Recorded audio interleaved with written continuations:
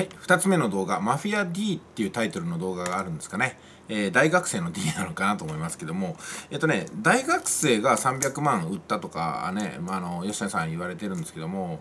えっ、と、今私がね、考えて、振り返って思うのは、あの大学生って稼げて当たり前なんじゃないかなと思うんですよ。例えば、ね、年収が300万だったとか500万だとか大学生がだってそれをしに大学に行ってるわけじゃないですか。金を稼ぐのが上手にならないんだったら大学行く必要ないですかって思うんですよね。まあ私できなかったんで余計思うんですよ。あの私は単なる大学っていうのはレジャーランドと思って行きましたからね。あの両親には申し訳ないですけども あのあレジャーランド4年間行かせてもらうわみたいな感じで合コンしに行きましたから私は。うんととんでもないバカでしたよね。とんでもないバカなんですけども確かに大学ってあの日本のね最高学府と言われて、えー、高校よりも専門的なこととかを教えるわけなんですよ。これ当たり前ですよね。でまあいろんなね大学に関しての評価っていうのは様々ありますよ。様々ありますけどもうんまあやっぱりね大学を卒業したっていうのは唯一学歴として世界に認められるものなんですよ。この学士っていうのはね。でも大学出てないと何者かっていうのは評価されないんですよね、うん、だからそこが大きいんですよ。かなり。まあそれも込みなんですけどももうちょっと厳しいこと言うとその大学を出た後300万とかね500万みたいな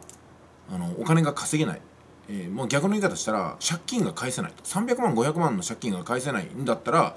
何のために大学卒業のなんか症状をもらったんですか？って話になっちゃいますよね。だからいわゆるこれは卒業制度がざるなんですよ。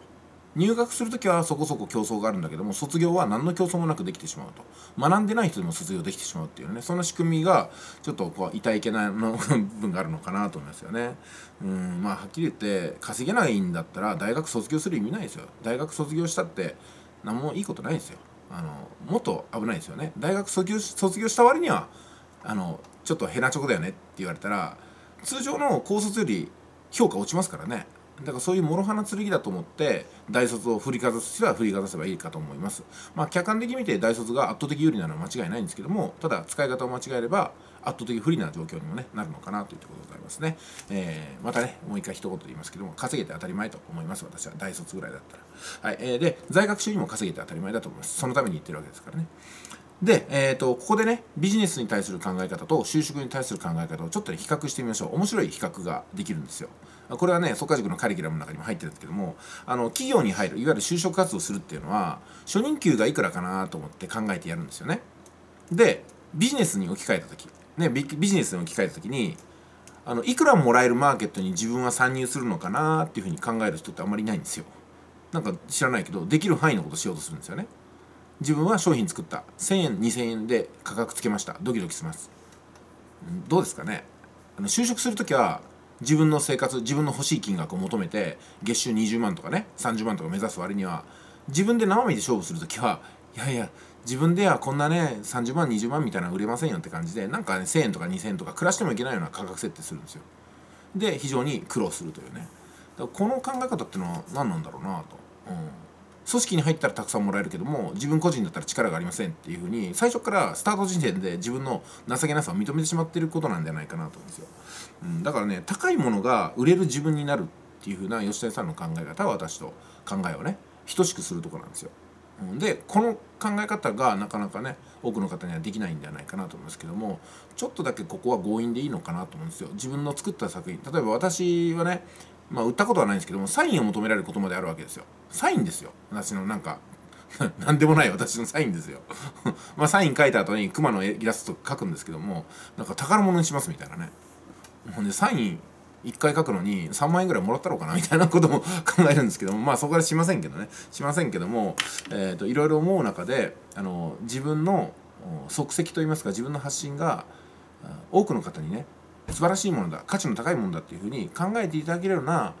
うん、自分構築自分のライフスタイル構築発信をマインドセットを作っていかなければ結局はできる範囲のことをやってしまってそのできる範囲のことっていうのはできない人生ってことになってしまうのかなと思うんですよね。はい、では動画のまとめになります。私の動画にはねいつもこうやってまとめになりますっていう風な感じで動画の本編とは関係ないことでも喋って無理やりまとめにしてしまうんですけども、えー、あなたはどちらを選びますかってことなんですよ、うん。新入社員として300円のたこ焼きを売る仕事。こちらの方に行く方も当然いると思います。じゃあ新入社員として3000万円の家を売る仕事に行く方もいると思います。これどっちが販売めんどくさいと思いますかね、うん、どっちが難しいですかね？どうなんですかね？なんか同じようなもんだと思うんですよね。どっちが圧倒的に難しくてどっちが圧倒的に簡単っていう風な比べ方はできないと思うんですよ。たこ焼きを売る難しさ喜びっていうものと家を売る難しさと喜びっていうのは、うん、まあなんかね違うようではあるんですけども似たような部分が多いかなと思うんですよね。じゃああなたはどっちを選びますかってことなんですよ。ただそれだけなんですよ。